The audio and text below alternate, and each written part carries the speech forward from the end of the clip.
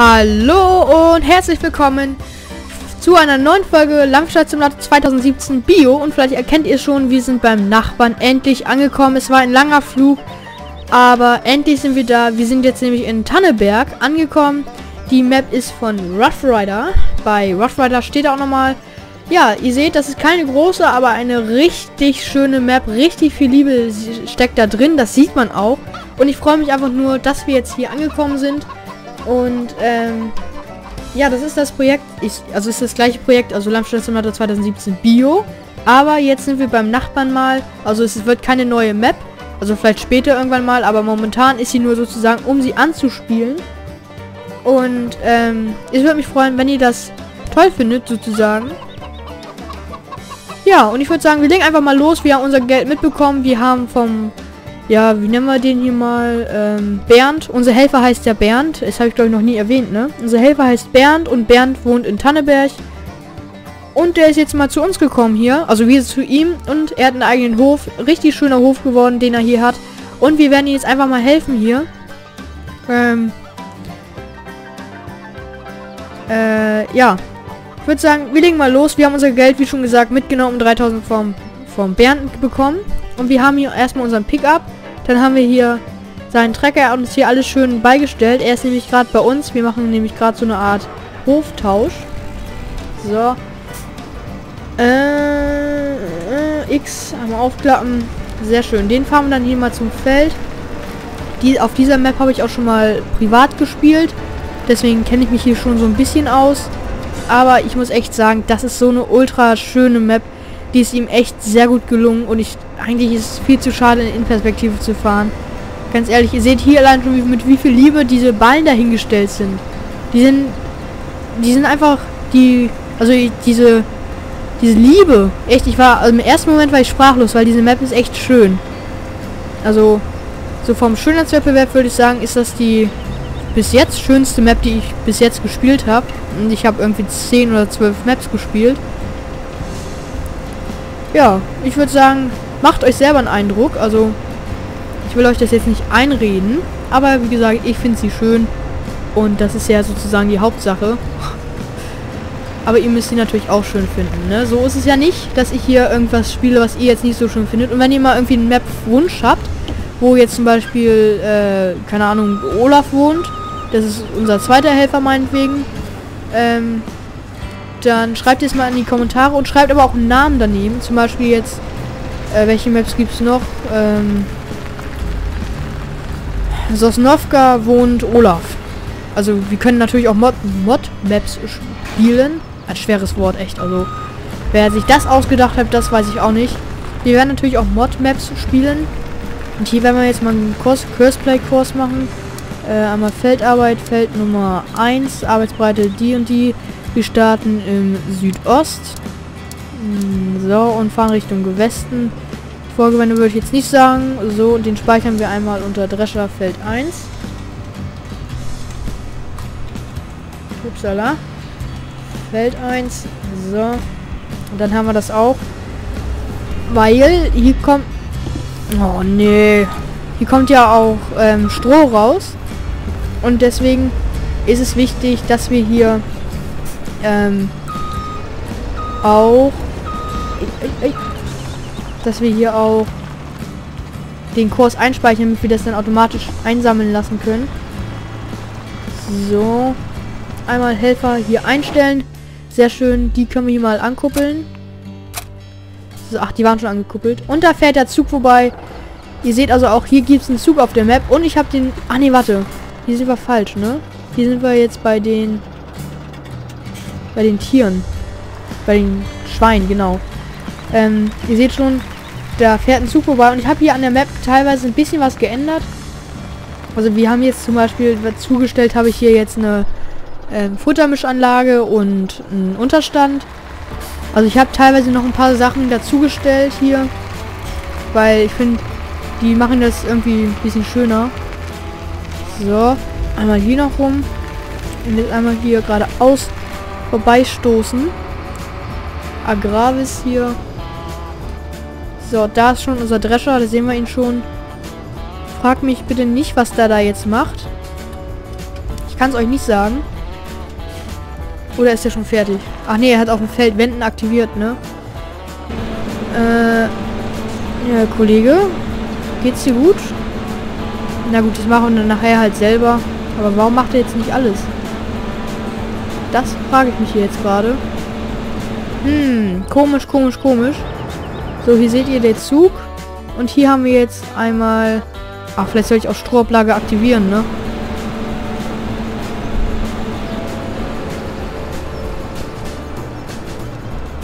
So. Einmal zurück hier. Jetzt kannst du weitermachen. So. Nee, warte, jetzt habe ich ja den normalen Helfer eingestellt. Stopp. Äh. So. Jetzt haben wir es aber, oder?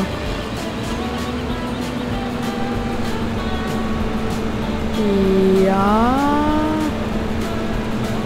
Nee. Irgendwie doch noch nicht so richtig. Was ist denn jetzt hier los gerade? Wir müssen da auf diese Spur. So.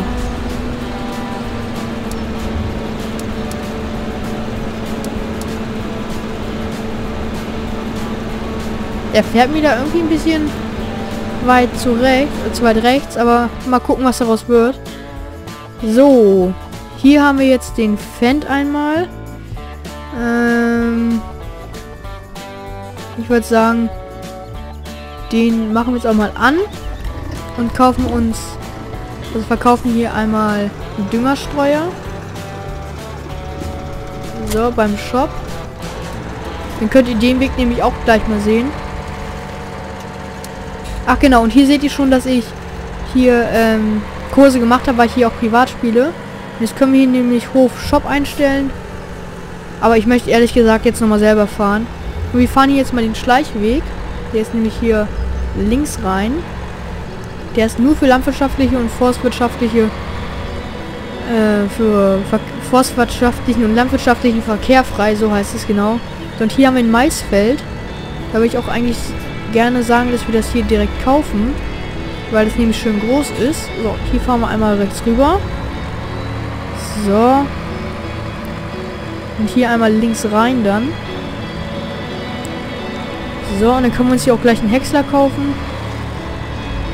So, oh, einmal hier abkoppeln. So. Und einmal aussteigen. Ich glaube, das Radio ist ein bisschen laut, ne? So, machen wir es mal ein bisschen leiser. So, hier einmal verkaufen, genau. Und jetzt kaufen wir uns hier mal äh, äh, äh, Kipper. Ich habe hier auch jetzt noch mehr Mods drauf als sonst. Guck mal, hier sind nämlich noch andere Größen vom Joskin. Da die Map ziemlich verwinkelt ist, würde ich sagen, nehmen wir mal so eine hier. Design. Mit Ladebordwand.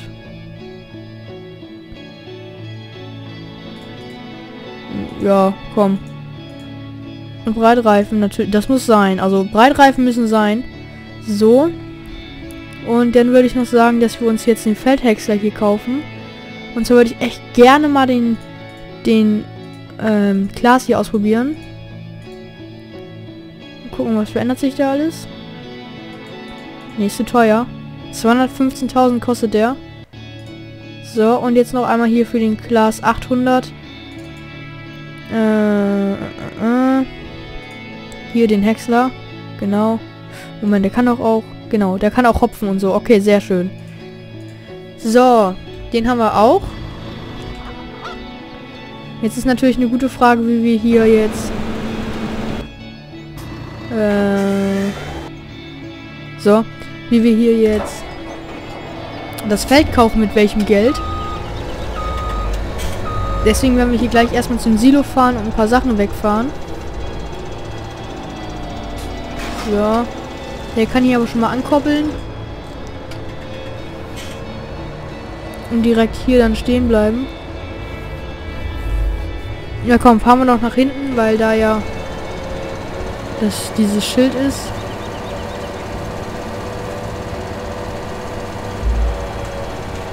So. So, upsala, sind wir schon zu weit gefahren stellen wir schon mal hier bereit.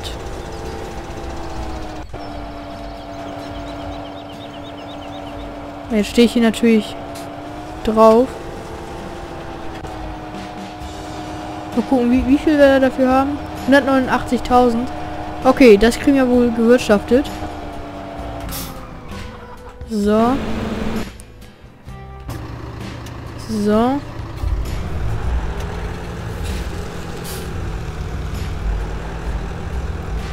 So.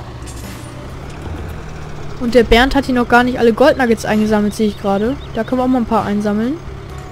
Weil dann kommen wir ja auch wieder zu Geld. So. So. Weizen ist voll, okay. Den können wir mit dem hier wahrscheinlich nicht abtanken. Na, wird es noch was? Ach nee, ich glaube, ich stehe zu schräg, ne? So. Mit dem fahren wir dann jetzt einmal nochmal nach Hause und verkaufen hier so ein paar Sachen. Damit wir wieder zu Geld kommen. Oh, oh, oh. Eieiei, da komme ich jetzt wohl nicht mehr rum, ne? Doch, sehr schön. Dann fahren wir den Weg nochmal zurück in der Innenperspektive. So. Hier einmal blinken. Ja. Super. So, blinke jetzt immer noch? Ja.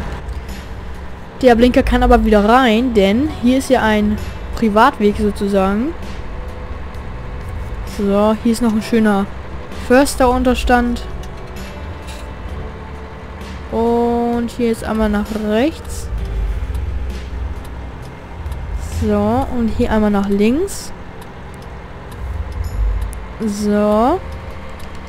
Oh, ne, hier noch nicht nach rechts, sondern ein danach. Jetzt hier nach... Achso, hier muss ich ja gar nicht mehr blinken. So. Genau. Und hier dann einmal beladen lassen. Die Füllung starten. Einmal hier mit ähm, Sojabohnen, Raps, Weizen. Brauchen wir Gerste, brauchen wir Raps. Machen wir es mal mit Raps das Ganze.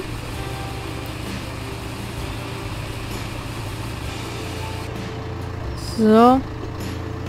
Und den können wir dann hier noch einmal wegfahren. Und ich würde sagen, achso, wir können den Drescher ja mal abtanken gerade. Wenn wir schon mal dabei sind, ne? So, nee, das war falsch. So, das wollte ich. Na, wo ist er? Da steht er, okay. Da kann der Trecker leider nicht stehen bleiben, sonst steht er im Weg. Ei, ei, ei.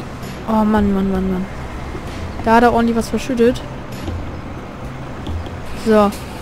Und das Geld, was wir hier ausgeben, geben wir aber nicht in unserem privaten, also in dem sozusagen in dem anderen Spielstand auf der Gold Crest Valley ab, sondern das ist jetzt nur für diesen Spielstand hier so. Ja, bleib doch stehen, Kollege, sonst wirst du doch nicht alle. Ähm, wie gesagt, das ist nur hier.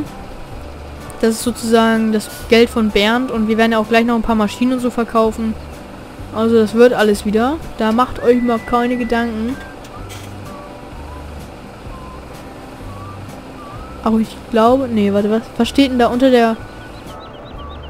Ah, das ist ja, das ist ja genial jetzt. Da sieht man nämlich, wie viel Prozent der Drescher hat, der einen gerade betankt, glaube ich. Glaube ich. Also wie gesagt, bin mir nicht sicher. So, den hier können wir jetzt einmal wegfahren lassen. Eine gute Frage ist, wohin, ne? Wohin lassen wir den fahren? Ach komm, Goldnuggets sammeln wir nicht. Das lohnt sich jetzt für diese 10 Folgen oder was ist, oder 5 Folgen, was ich darauf sein wird, nicht. So, wo fahren wir hin? Das ist eine gute Frage. Und ich würde sagen, diese Frage beantworten wir in der nächsten Folge. Wenn es wieder heißt, wir spielen hier den Landwirtschaftssimulator 2017 beim Nachbarn. Ja, dann würde ich sagen, sehen wir uns beim nächsten Mal wieder. Bis zum nächsten Mal. Euer Jan.